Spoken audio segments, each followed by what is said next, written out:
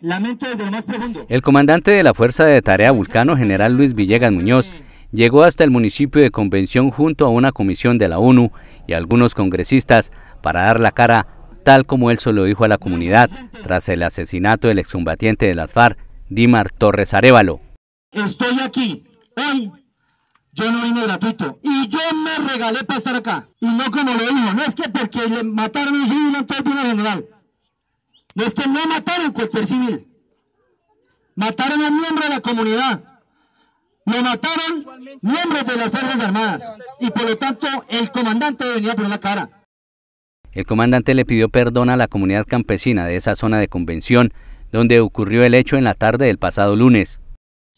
Lo lamento en el alma y en nombre de los 4.000, no de los 22.000, no los hay, pero los 4.000 hombres que tengo el honor de comandar, les pido perdón. Esto no debe haber pasado.